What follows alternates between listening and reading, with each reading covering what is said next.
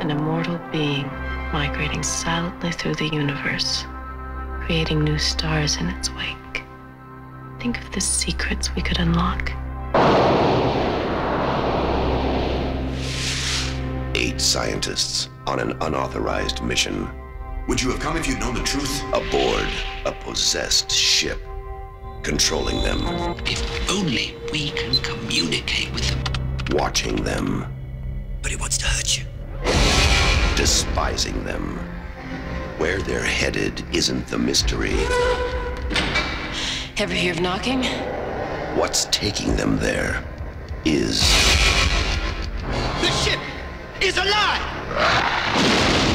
What's going on? Whatever it is, it's got a big surprise coming. You think he can protect you?